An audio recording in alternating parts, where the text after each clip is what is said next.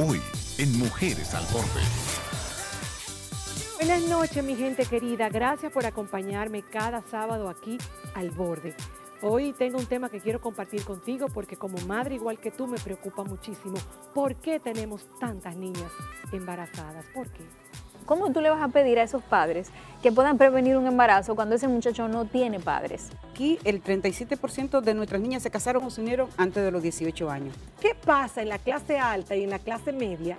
Porque ya están haciendo sexo desde temprano igualito. Que una niña de 10 a 13 años que sale embarazada, inmediatamente se te le tiene que hacer un aborto.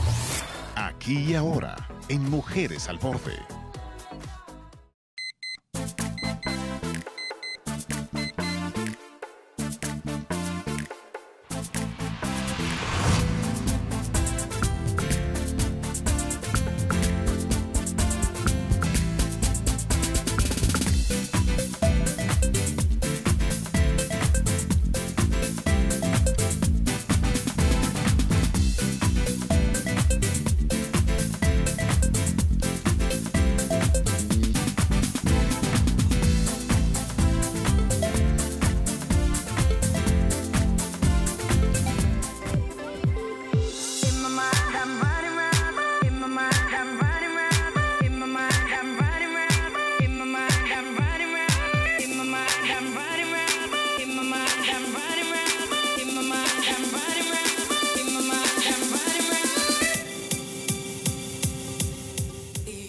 Y le doy la bienvenida a mi panel, a una parte de mi panel que me acompaña en este momento. Qué bueno que estás ahí conectadita como mamá y tú como papá, un papá responsable, un papá sensible. Qué orgullo tenerte ahí frente al televisor, porque es un tema que toca un nervio, pero que es tan importante que lo toquemos, porque nos toca a todos como país. Es la pandemia que está pasando con nuestras niñas embarazadas. Y como decía Elaine Félix, que me acompaña hoy, ¿Por qué es una pandemia? Porque está fuera de control. Y tú y yo tenemos la responsabilidad de ver qué podemos hacer desde nuestro entorno, desde nuestras posibilidades. Y lo primero que hay que hacer es educarnos. Como no nos educan, nosotras nos vamos a educar, porque nosotras sí podemos. Gracias, Elaine Félix, por tu apoyo. En este y cada show que hago, en pro de mis mujeres al borde. Gracias a ti por la- y por siempre darme participación. conferencista, educadora sexual, amiga, una persona incondicional que se ha tomado la causa de la mujer, la mujer per se, en todos sus aspectos, y enseñándonos a educar a nuestras niñas, y eso no tiene precio. Gracias, amiga. A ti, Ingrid, de verdad que sí. Hoy me acompaña una mujer al borde que hace mucho que yo no veía, pero que es una mujer valiosísima también. Ella es Santa Mateo, asesora de género de Plan RD, una ONG que está radicada en nuestro país trabajando por nuestras niñas en las áreas más vulnerables, como es el sur. Gracias, Santa. Gracias a ti por tu invitación. Y mi compañera, por supuesto, de cada sábado, la juventud, la DJ, la princesa de los platos, Miss Jem, bellísima. Hola a todas mis mujeres. Eh, nos acompañan también, que le estarán viendo participar en este programa, eh, aunque no están en este panel, a nuestra querida doctora ginecóloga Lilian Fonder y nuestra coach de familia, Vida Gaviria. Así que a ellas también la bienvenida que estarán participando en este panel. Vamos, a, vamos al grano, vamos a hablar de nuestras niñas embarazadas, porque en verdad es un tema que tenemos que tocar y tenemos que accionar.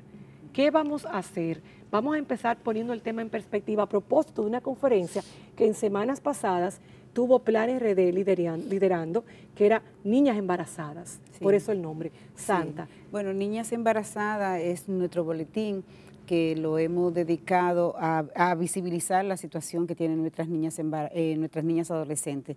Sabemos que nuestro porcentaje no ha disminuido pese a todas las inversiones económicas que se han hecho y a sabienda de que hay toda una intención política desde el Estado de, de disminuir el embarazo, seguimos con la cifra de 22% eh, de, niñas embarazadas. Nos, siguen, nos seguimos colocando como en la, en la región, como el país número 5, con el nivel más alto de niñas embarazadas. En la región sur, eh, ASUA sigue teniendo el porcentaje del 37%, siguiéndole Pedernales con un 35%. Entonces sí, amerita que nos sentemos y reflexionemos qué es lo que está pasando con nuestras adolescentes con el tema del embarazo. Wow. Elaine, eh, tú también has asumido mucho el tema como educadora sexual en que te ha convertido haciendo las famosas jornadas que hace respuesta contigo liderando. Y yo te pregunto a ti, ¿Cuál tú entiendes que es la causa, tu manera de ver, yo que sé que tú la has estudiado, de que esté pasando estos embarazos desproporcionados con unas estadísticas tan violentas en nuestras niñas? Lo primero que tenemos que saber es que los chicos se están iniciando y los papás ni se están dando cuenta. En la vida sexual. La vida temprano. sexual. Y la- los papás no saben que ellos son autónomos. Y los papás lo que quieren es que le pidan permiso y lo llamen, papi, ¿puedo tener relaciones sexuales? Y no hablan del tema. De alguna forma, el miedo a que mi hijo se inicie y entender que si le hablo, lo estoy incitando a que lo haga, hace que muchos chicos imiten lo que ven en la pornografía, en la música y en una serie de contenidos que le llegan hasta en la sopa. ¿Y qué hacen? Imitan lo que ven, pero no saben las consecuencias.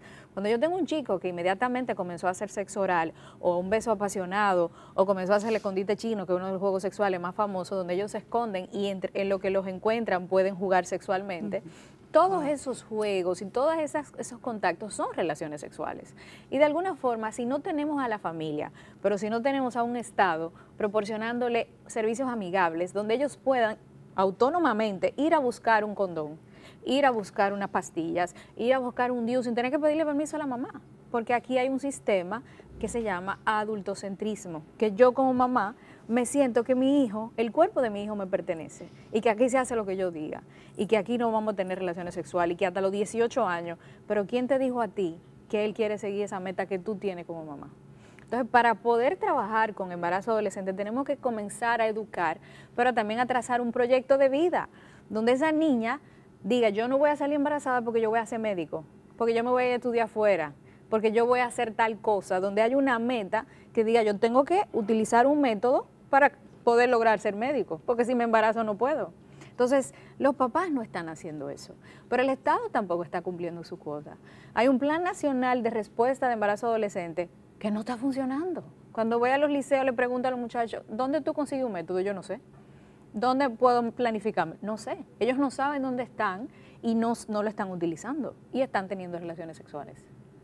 Y este es el momento en que yo le hago la pregunta a través de la magia del video a nuestra querida doctora Lilian Fonder. Lilian, ¿cómo pueden estos jóvenes buscar ayuda para prevenir un embarazo, partiendo de la premisa de que no están siendo educados en su mayoría y tampoco están siendo guiados por sus padres, por todas las razones que acabamos de mencionar? ¿Qué puede hacer un joven que ya está activo para protegerse y cuidarse?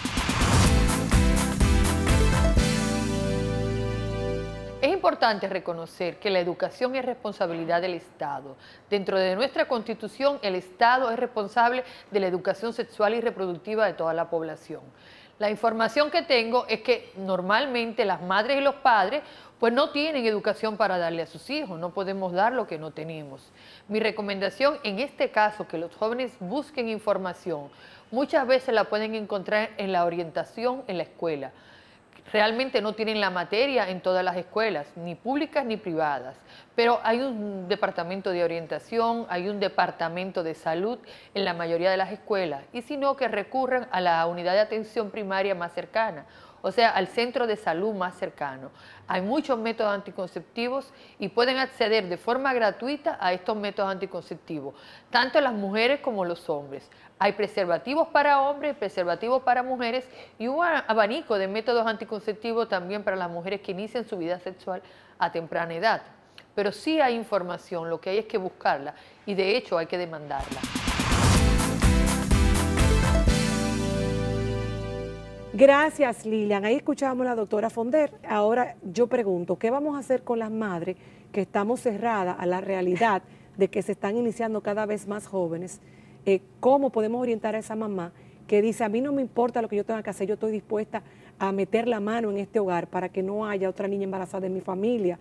Porque ella no quiere que eso siga pasando, ella quiere romper el ciclo. Claro. ¿Qué tú le dirías, Elaine? Mira, lo más importante es entender que los niños, niñas y adolescentes son entes sexuados desde que nacen y tienen derecho a expresar su sexualidad. Obviamente, la educación sexual se encarga de enmarcarla en, una, en un proyecto de vida, en la, el hecho de que tengas que esperar hasta cumplir tus metas. Ahora, ellos van a decidir.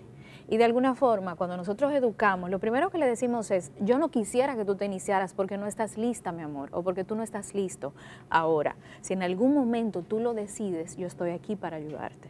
Y si no me lo quieres comentar a mí, pues entonces acércate a la orientadora de la escuela o, por ejemplo, en el caso de las madres que tienen un ginecólogo amigo o alguna ginecóloga amiga, yo siempre le digo, dale el teléfono a tu hija porque ella puede, pues te va a volar a ti. Hay, hay niñas que me dicen y adolescentes, yo no se lo quiero decir a mi mamá, porque hay un Y si no quieren, no lo van a hacer. Exacto. Ahora uno puede trabajar la conexión con esos hijos desde pequeñitos para que haya esa confianza. Sí, pero toma en cuenta algo, el respeto que yo te tengo como madre, yo no quiero que tú me veas diferente. Y eso hay que respetarlo. Y los chicos me lo Eso dicen. sería normal. entonces. Claro, los chicos me lo dicen en jornada que yo no quiero que mi mamá me vea diferente, yo no quiero que mi mamá me trate diferente y yo lo entiendo, porque por más que sea, yo estoy rompiendo con el sueño de que mi mamá me dijo que quería que yo llegara virgen al matrimonio, por ejemplo, y yo decidí que no, yo decidí que voy a tener relaciones sexuales ahora. Entonces, lo que nosotros tenemos que tratar es que ellos sean autónomos de buscar un método.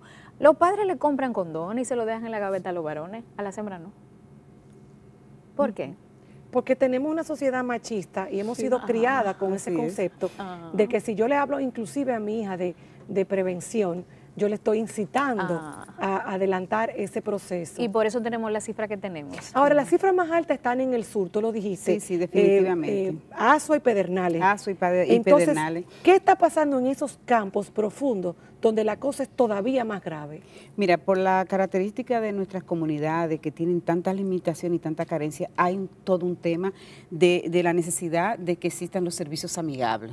Definitivamente. ¿Cuáles que son sí. esos servicios amigables? O sea, Aplatáramelo o sea, todo. No, que sencillamente cuando un adolescente vaya a cualquier centro de salud, Exacto. todavía para aplatanarlo más, que vaya al centro de salud del barrio Tabar Arriba, de Asua, que esa niña, que esa adolescente consiga la información que quiere. Y que no le echen un boche. Y que no le echen un boche, pero no solamente eso, que ella vaya, busque ese servicio y que no se sienta acosada. Exacto. Y, y que tampoco, y que se le garantice la privacidad. Porque el tema es que en una comunidad todo el mundo se conoce. Y una adolescente que vaya a un centro de salud a buscar información, la vecina que la ve va a decir, ah, pero yo vi a su hija eh, en el centro de salud, eso es buscando pastillas para planificarse. Ok, Entonces, te- eso ya genera en la adolescente esa inseguridad y ese centrarse en ella misma y no buscar información. Entonces, voy a dejar esta pregunta en el aire para las dos. Entonces, en realidad, es un mito, es una realidad que las niñas más vulnerables a quedar embarazadas en la adolescencia o en la niñez son las niñas de menos recursos económicos. Claro. Eso es así. claro. Definitivamente. Definit- y, los- y las cifras lo revelan. Porque vamos a la pausa y vamos a regresar. Estamos analizando un poco el tema de por qué hay una pandemia con nuestras niñas embarazadas y qué podemos hacer tú y yo ya para hacer la diferencia.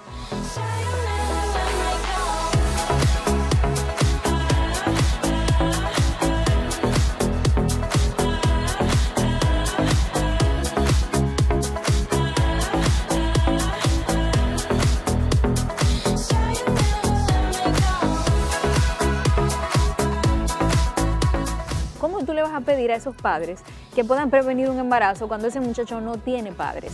¿Qué pasa en la clase alta y en la clase media? Porque ya están haciendo sexo desde temprano igualito. Porque el programa de solo abstinencia, no tengan relaciones sexuales, no funciona.